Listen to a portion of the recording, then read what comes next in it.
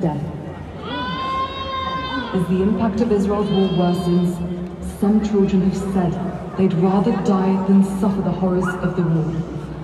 Children who do survive this war will not only bear the Kanske du visible vill säga wounds of något? traumatic injuries, Kanske vill but du the säga invisible något? ones too. Nej, fri, There is a repeated displacement, constant Decolonize fear, the world. and witnessing Ja, family members Palestina. literally dismembered before their eyes. These psychological injuries have led children as young as five to tell us that they طبعا انها الانسانيه لا هي عربيه ولا هي مسلمه ولكن الانسانيه Have left فعلا Gaza انسانيتها جابتها باش توقف هنا في الصقع تتضامن مع غزه that were once busy with bakeries and restaurants.